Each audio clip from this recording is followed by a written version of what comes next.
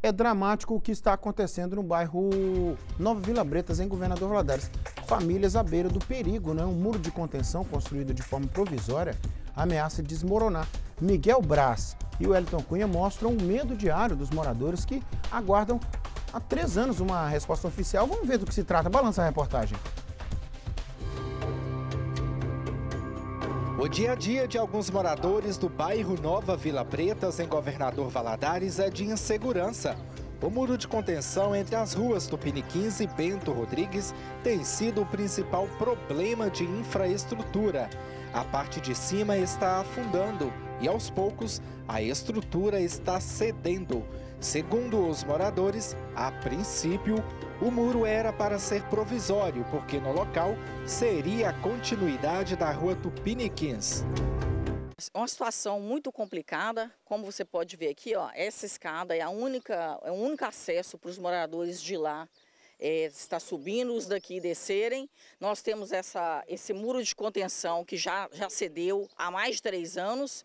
Os próprios moradores vieram, colocaram um saco de areia aqui para tentar amenizar a situação, mas pelo que você pode ver, realmente esse muro de contenção está descendo. Para tentar amenizar a situação, os próprios moradores colocaram sacos de areia para evitar que a água que desce das vias passe por cima do muro. Esse vídeo gravado por uma moradora mostra o momento em que a água desce pelo local. Por causa do problema, a Ruth, que tem uma casa bem abaixo da estrutura, precisou deixar o imóvel. Devido a esse problema aqui, eu tive que sair da minha casa, porque pelo risco, né, de a gente está correndo, tá correndo risco de vida, ficar lá embaixo. E aí tem um ano já que eu saí da minha casa, porque a gente fez, buscou ajuda e eles falaram que ia vir resolver, falaram que ia vir cá e não vieram.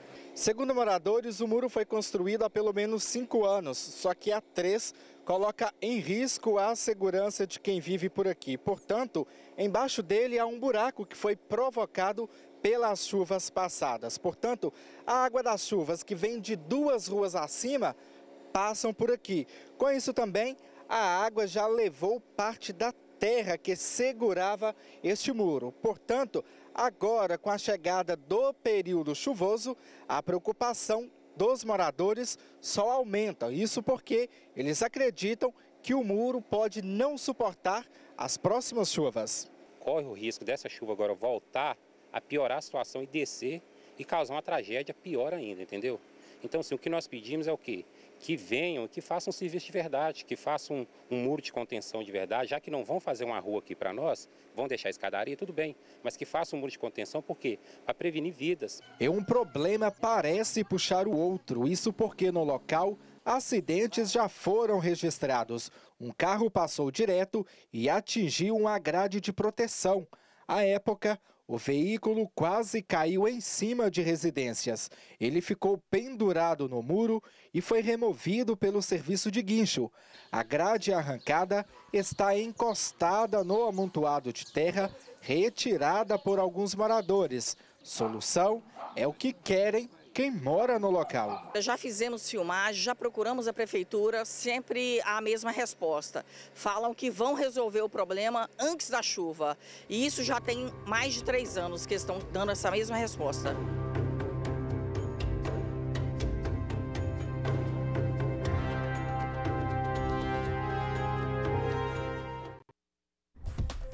Em nota, a Secretaria Municipal de Obras e Serviços Urbanos da Prefeitura de Governador Valadares informa que vai fazer os estudos e projetos necessários para a intervenção no local mostrado na reportagem aí. A gente está falando do Nova Vila Bretas aí, né? Está aí a resposta da Secretaria Municipal de Obras e Serviços Urbanos aos moradores que nos solicitaram a reportagem aí. Obrigado, viu, Retaguarda? Obrigado à equipe.